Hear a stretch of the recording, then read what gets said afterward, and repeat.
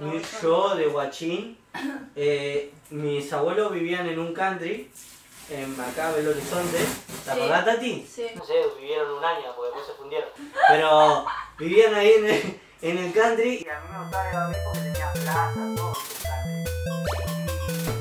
quedaba a dormir y ellos tenían como su cuarto y estaba el cuarto de Camila. Entonces, y Camila a las 11 de la noche y yo despierto la madrugada. Y de- desde abajo ponían unos parlantotes así. Sí, y el- la, la cosa gigante. Y ponían Marco Antonio Solís. Mi Mi abuela se pone la durmiendo, radio. escuchando a Antonio Solís. yo así.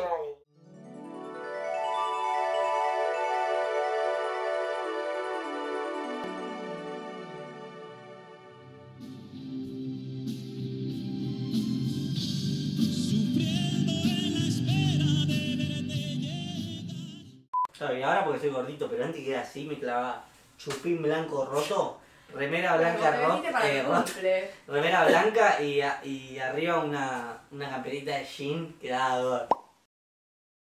Y a veces nos compartíamos la campera de jean. Imagínate lo apretada que era. o sea, Me quedaba por acá. Yo estaba así. literalmente. literalmente. Igual queda- una campera te queda bien apretadita y como que nunca la vas a cerrar, pero te queda así y. O sea, cerrada no la podía usar ni en pedo. Che, Virta, ¿anotaste para la vacuna? Sí, voy a hacer una banda. Yo anoté ayer. Seis meses. ¿Cómo seis meses? No, no, seis meses yo no. No, igual mi vieja labura en salud. Ah, claro, claro. Me dijo, ni bien salió el vacunate y la sala de espera de todos los que no son prioridad, me dijo, por favor, hijo, no se por mí. Y bueno, viste, cuando empieza con eso, El máximo que puedo escuchar de ese estilo, YouTube, pum, ruido de lluvia para dormir. Sí, vos, pero eso no ruido, es así. ruido de fuego para dormir nunca pusieron. De fuego me despierto recagado. No, la, la De de la fuego. estufita, de la estufa hogar. Ah, de hogar, sí. Así, la chispita, ch- No, del ruido del ventilador, puse yo. De la nada unos bomberos, ruido de ventilador. Ahora está es que el ventilador de pie me da ganas de. Prender el ventilador posta. Ah, No tengo ventilador. Ruido de ventilador sin molestar. Pum. No, bueno, eso es un hecho pelota. A ver, ¿cómo te queda eso, pa? Te vas a despegar una cagada de calor. No, yo no tengo calor nunca. no.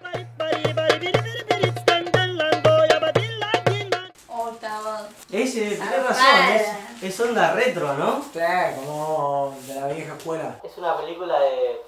Decimos un actor viejo. Muy audaz los diseños. Tiran toda la carne al asador. Sí, mal, mal. No, son frutas. La verdura, boludo, una fruta. ¿Qué cara? ¿Qué cara? Representando, pa. Banco. Nosotros creo que cuando vemos una mujer vestida, tipo producida, más allá de que digamos qué locura lo que se puso, decimos latinatada. ¿Entendés? Claro, En cambio, siendo que los hombres, Flashaste. A menos que los fanees mucho al pibe y el pibe venga con uno y uno, eh, ¿entendés? Le decís, no, este que flasha, este quién se cree que es. Sí, es posta, es posta. Igual también porque saben, creo que combinar más, saben... Obvio, saben más, Saben se más. fijan más, se, se preocupan fijan más. Nosotros somos unos burros. Ah, nosotros de oído. Igual nosotros nos preocupamos bastante. Es que yo lo que quiero marcar también es que el paradigma está cambiando. Para mí, hoy en día hay una tendencia a que se equilibre un poco eso. Pero en general, vos veías a un pibe con botas en el colegio que tenían corderito adentro y decías, pobre, ¿qué le pasó? Amigo. Cambio veías una, una piba con las botas que ella menciona y gol. Posta, muchísimas gracias a la gente del Don que, eh, ¿cómo lo digo? ¿Qué? Se unió bastante a mi idea cuando ellos no eran tan yo, ¿viste? No eran Claro. tan ropa colorinche, oversize. Fue como que yo les planteé y ellos acomodaron a mí, porque obviamente yo quería lo que yo. El chabón agarró y me dijo, vos te vas a encargar de todo, yo no me voy a ni meter. Eso Ah, me bueno, dijo. pero se refiere no a los diseños de ahora que los diseñaste vos, Claro. sino a la onda que tienen siempre. Claro. Claro, Sí, sí, a la onda tipo pantalones cargos, ¿sabes? Ropita ancha. Tuvieron los pantalones cargos y se hicieron cargos. cargo los pantalones. Me encanta dormirme con la tele, Claro, eso pero me pasa, me da no me gusta que esté prendida. Pero ahí- Si alguien puede venir y apagarme la God. Sí, sí, sí. Pero entre dormidos es tipo, pa, apago y me duermo.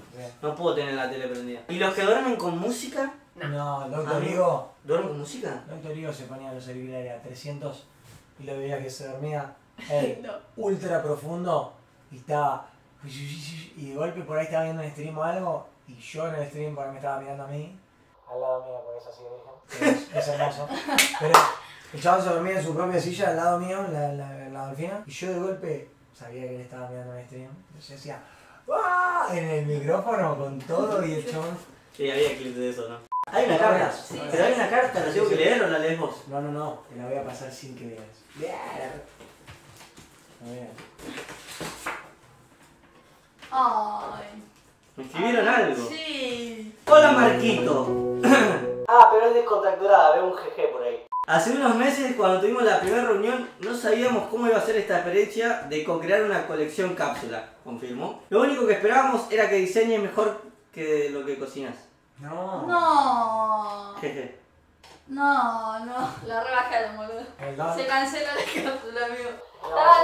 Lleva, lleva, lleva. Tengo la cápsula de repuesto de Nike. Para nuestra suerte apareció Tati y nos ayudó a entender lo que vos querías y fue todo más fluido. ¿Me están diciendo cosas buenas o me están mareando? Y Un medio poco que te y un están poco. Un mareando. poquito, ¿no? Les pido mil. Me acordaba del remera. coso. Che, God, esa remera God, muy, muy drogadicta, pero. No me acordaba, boludo. Y bueno, Muy para buena. acompañarlas con nuestros cogollos. de- de- Vale, no, nuestros pica pica del trono de Lucky. Pica Cogollos, pica, mira. le dice. ¿Cómo se le dice? Claro. Eh, esa es Ah, esta es- Yo también tengo una teoría. Al que más le cuesta es al que más se esfuerza. Sí.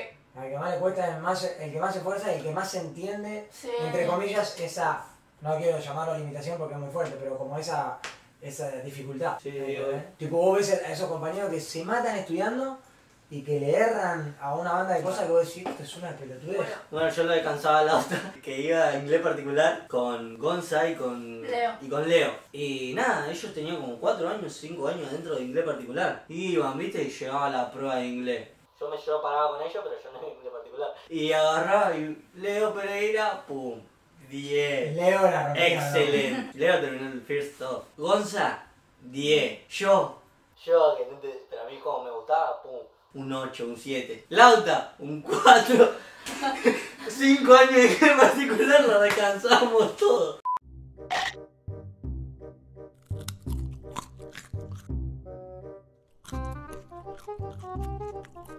A few moments later. ¿Estaba rica la pizza?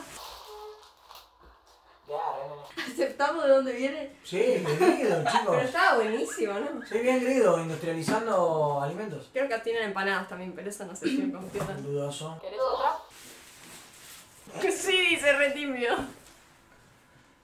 En el examen siempre te tomaban lo que vos habías faltado ese día. Yo en primaria no iba nunca y por eso te digo la verdad. No, me, no tengo miedo a decirlo. Por eso yo no aprendí a dividir.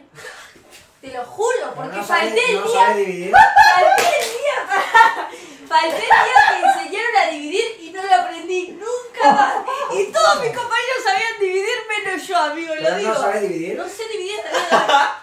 Uso la calculadora. No, pará, si yo te digo 9 dividido No, 3. no, no sé, Pero no pará, sé. 9 Ah, nueve dividido dividido 3. No, no sé. Pero eso No sé las tablas, Pero pará, pará, 9. No sabes Tenés 9 multiplicar. manzanas. Pará, escuchame, por favor, por No favor. me hagas esto Por favor. Pero Te lo voy a hacer de una manera tipo profesor explicándote. Es joda. profesor Nueve- de segundo grado. Tenés o sea. 9 tenés nueve buzos del don. No, y tenés no, 3 no. personas. Posta, 9 buzos y 3 personas. ¿Cuántos buzos son para cada uno? Es fácil, muy fácil. 9 buzos y 3 personas. No, no sé, no quiero pensar. On my back, she like living fast. She wanna fuck with me cause we getting cash. I hit that bitch raw, did that and I passed. I did not learn shit in that motherfucking class. I put that bitch like a bag.